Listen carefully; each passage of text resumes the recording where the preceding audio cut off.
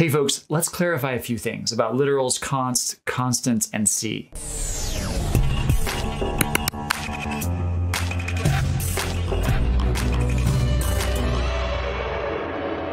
Welcome back everybody. So in my last video, I talked about the const keyword and some of the somewhat surprising ways that it confuses students. But it seems that I wasn't as careful as I should have been in my wording and I guess I said some things that I guess confused some people or could have confused some people. Anyway, the point is I really appreciate the feedback I get on this channel. You know, I sit down really quickly to record a video and I don't always get it right. And so I really appreciate those of you that point out the areas where I need to clarify things a little bit. So in this video, that's exactly what I'm gonna try to do. I just wanna clarify few things and try to be a little more precise than I was last week. So in case you missed it, that video was a discussion about const. Specifically, it was a response to students who were running into frustrating issues where they have const variables that they expect to behave a certain way, and what they're seeing are some compiler behaviors that they just didn't understand. Specifically, they were seeing messages about certain things that they thought were constant not being constant expressions. And of course, in that video, I used the word constant a lot, and as some of you pointed out, I wasn't really precise in what I meant by constant. So when we're thinking about constants, usually we are thinking about a few things. And this is not always a super defined term, but we're typically thinking about some kind of symbol that we can define, and it's gonna have a value, and that value is never going to change, or even better, it cannot change throughout the life of our program. This, of course, is in contrast to variables, which change or vary throughout the program as we need them to. Now, of course, each language provides different features or tools that we can use to implement this idea of a constant. For example, in Java, you have the final keyword, which says this is the last and final value that you can assign to it. You cannot reassign it, you cannot overload it, it's final. So in Ruby, any variable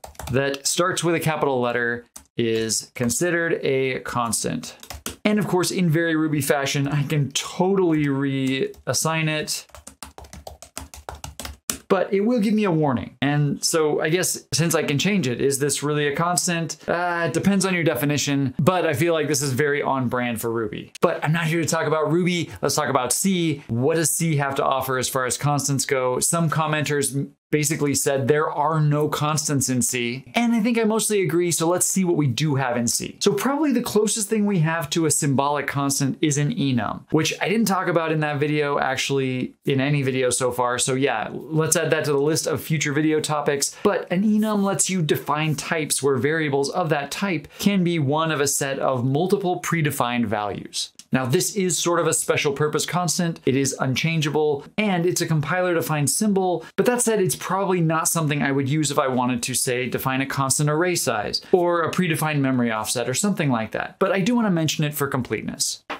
Next, we have literals. If I type a 10 in my program, this is an integer literal. It doesn't have an address, at least not one we can meaningfully use in our program. This 10 is also a constant expression, meaning that it's a mathematical expression that is defined at compile time that will always evaluate to the same value. So 10 plus 2 is also a constant expression, as is 5 times 10 plus 2. The compiler can evaluate all of these expressions at compile time without looking at any other code and without running any other code. And of course, course, I can do just about any arithmetic inside a constant expression, and it'll still be a constant expression. If I call functions, introduce variables, or assign new values to variables, well, it's no longer a constant expression. So next up, we have preprocessor macros, or pound defines as they're sometimes called. So if I put this in my program, it allows me to put a name with this integer literal, and then use the name instead. Now, since we have a name, we might think, yeah, that's a symbolic constant. And it sort of is, but keep in mind that the C compiler doesn't see this as a symbolic constant. The preprocessor is just going to insert this literal throughout the C code wherever I use this symbol. Also, something that I forgot to mention in the previous video is that macros, these macros that we might use to implement the idea of constants in our programs, well, I can redefine them. I can come in here, let's say that I've pound defined uh, B to be 10, and I can then again say pound define B to be 45.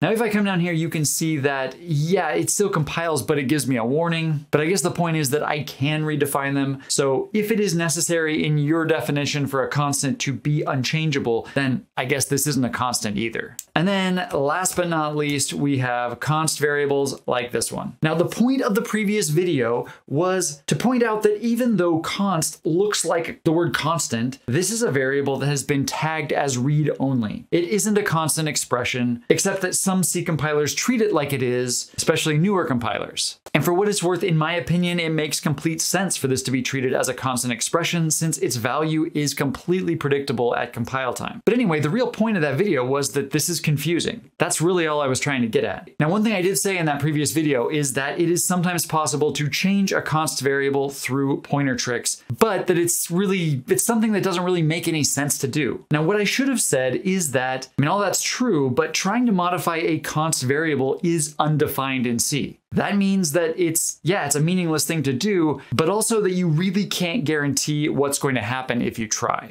And of course, you know me, we're going to try. It's fun to try new things, so let's try it out and see what happens. Now, I'm trying this in Linux. Your results may vary depending on the machine you're on and the compiler you're using, and of course, which version of compiler. So, so I'm starting off with this code that I wrote for last time. I have a pound define up here, a const int a that I'm setting equal to 10. And what we're gonna try to do is just to see if we can modify this variable a, this const variable a, and give it a different value. So the first thing I'm gonna do is to come down here and just modify this really really quick. what I'm gonna do here, what we were doing before is just printing out the address of A. Let's just print out the actual value of A. And yeah, we'll put that in like this. Mostly because I'd really like to see if we're successful at doing this.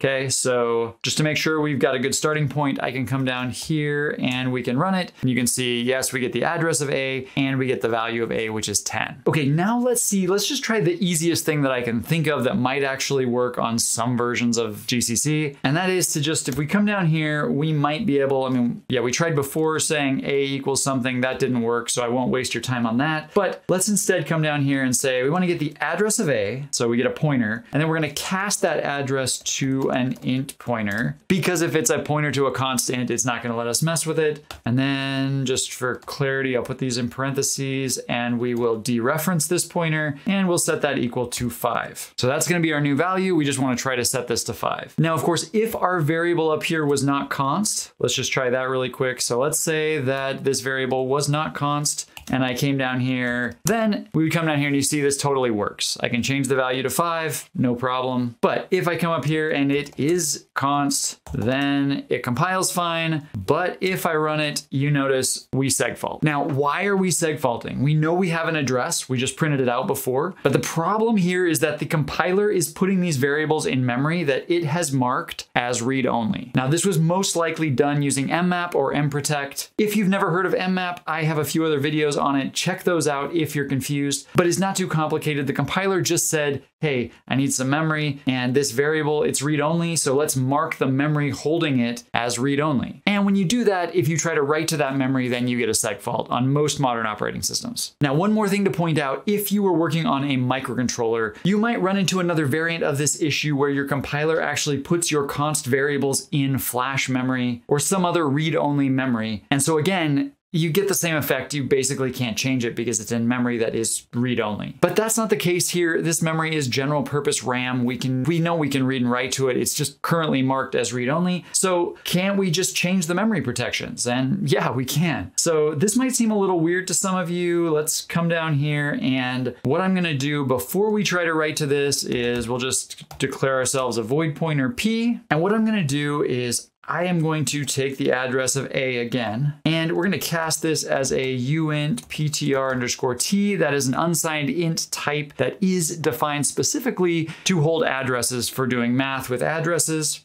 And then what we are going to do is come here and mask off the low order 12 bits of the address. And the last thing, let's cast it to a void pointer because that's what I'm assigning it to. And it looks like I'm missing a parenthesis. Okay, now why am I doing this? I'm doing this because to change this memory protection, I want to access the page that it's on. And this address in memory might be in the middle of a page. So I'm getting the, the beginning of the page by just masking off these bits. If you're interested in this, let me know. We can talk more about virtual memory, pages, and offsets and how that all works in a future video. But the point is, is I'm just simply trying to get the address to the front of the page that this variable is stored on. Then what I can do is come down here and call mprotect and we're gonna pass in that address and the size of the block, which we're just gonna do one page, so 4096. And let's set our protection flag. So let's, we're gonna make it readable and writable.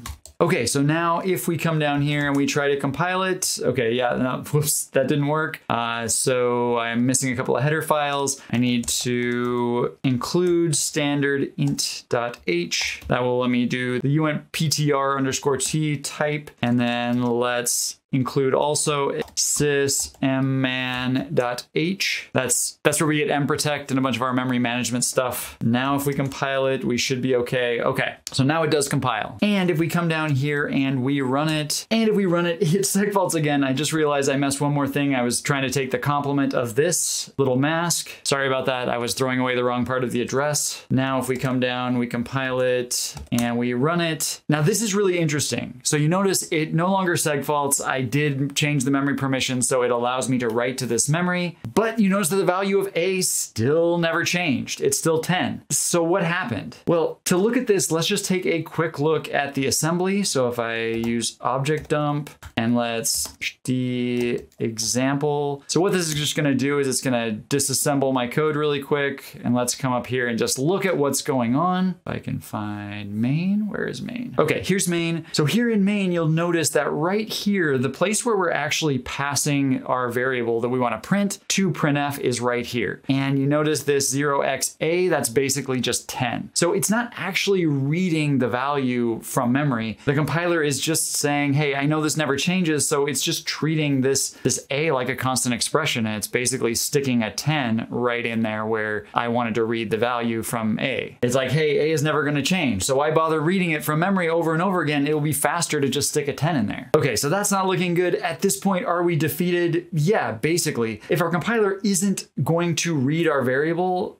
then it's going to be really tough to change that value unless we had the program rewrite its own code in memory, which is getting ridiculous. Well, honestly, this whole exercise is a bit ridiculous. But before we wrap up, just one more thing we can try. Uh, you know, we could come up here just, and I just want to show you that this is possible, is we could come up here and say, this is going to be a volatile const int. Now, this may also seem completely ridiculous. I mean, what kind of crazy thing is a volatile constant? Again, remember that const doesn't mean constant, it means read only. And volatile just means it can change unpredictably. For example, due to some kind of hardware change that was not a product of our program. So now what we have here is A is a read-only variable that can change in strange ways. And so now if we come back down here and we compile it, oh, I forgot to save it. Now let's compile it. And now if we run it, you notice that it does change. So we succeeded in changing the value of A because now it's actually gonna read from memory because we told it it's volatile but the compiler made us work for it. With older compilers, it used to be easier to work around const. So I guess that's probably a sign of progress. But I guess the point of all of this is all that stuff I just did, don't do it. We're muddling around in undefined behavior land, and that's not where you want to be unless you're just exploring trying to understand how computers, compilers, and operating systems work,